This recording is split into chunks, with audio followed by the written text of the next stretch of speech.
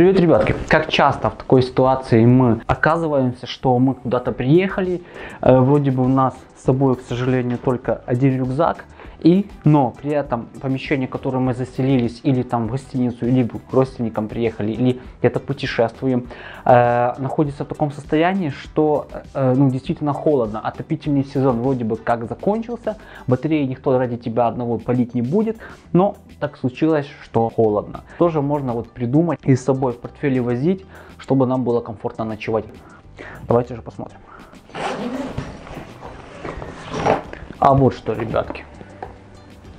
Это портативный мини-обогреватель, который я нашел. Это, наверное, самый маленький обогреватель, который есть на рынке Украины. Китайский, соответственно, и, конечно же, самый дешевый. Холодно, уже отопительный сезон закончился, и никто ради меня одного полить в гостиницу не будет.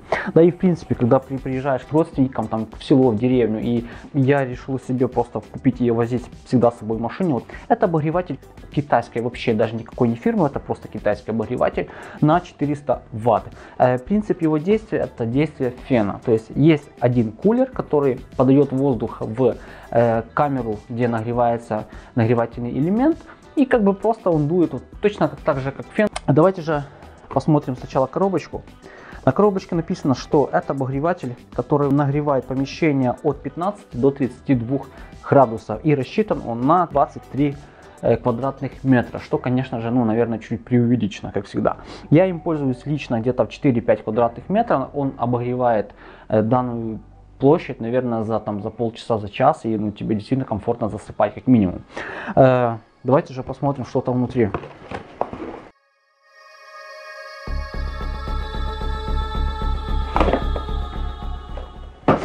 Так, вот, вот такой вот обогреватель, он маленький, принцип действия просто втыкается в, резетку, имеет несколько кнопок, давайте их разберем. На задней панели здесь ничего нет, здесь единственный прикол в том, что э, вот эта вилка, она крутится.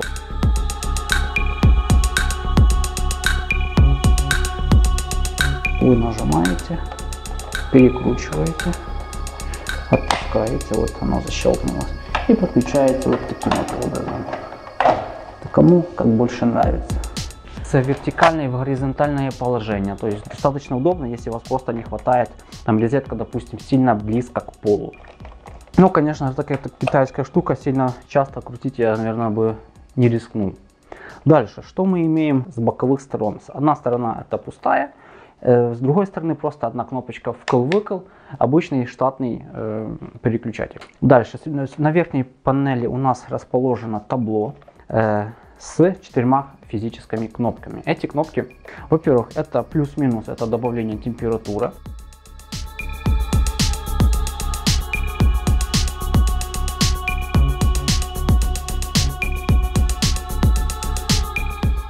То есть теоретически здесь должен стоять термостат, который поддерживает температуру, но я как бы чуть-чуть сомневаюсь, что он там есть. Э, вторая кнопочка это speed, это скорость самого кулера, который находится в нижней части э, устройства, да, то есть там две скорости, маленькая и большая, как бы все. Э, и кнопочка таймер. Таймер достаточно хорошая кнопочка. Вы когда подключаете, лично я им пользуюсь, вы когда подключаете к розетку, включаете таймер, там есть 12 часов, да, то есть, то есть я его ставлю, включаю на единичку и через час он выключается. Очень достаточно удобно и круто. То есть мне очень нравится. Что касается Передняя часть это, конечно же, сеточка. Сеточка металлическая, достаточно тонкая. И написано, что это керамический нагревательный элемент. Что касается по качеству и, в принципе, вот по ощущениям, это очень дешевое устройство. Это, наверное, самое дешевое устройство, которое есть. Купила его где-то за 5 долларов, плюс-минус. Удобно. Это компактность, действительно. Вы едете в командировку, вот вы же, вы не знаете, куда вас там поселили, или там ездите, едете где-то там э, на отдых вы не знаете, поселить вас в нормальную гостиницу, есть там отопление, нет отопления, работает кондиционер, не работает. Вот вы взяли вот такую вот маленькую, грубо говоря, штучку, и как бы вы уверены, что если будет холодно, вы ее подключите и всегда можете согреться. Что касается, в принципе, качества сборки, ну это обычная китайская ну, пластмасса, здесь ничего, ничего такого сверхъестественного нет.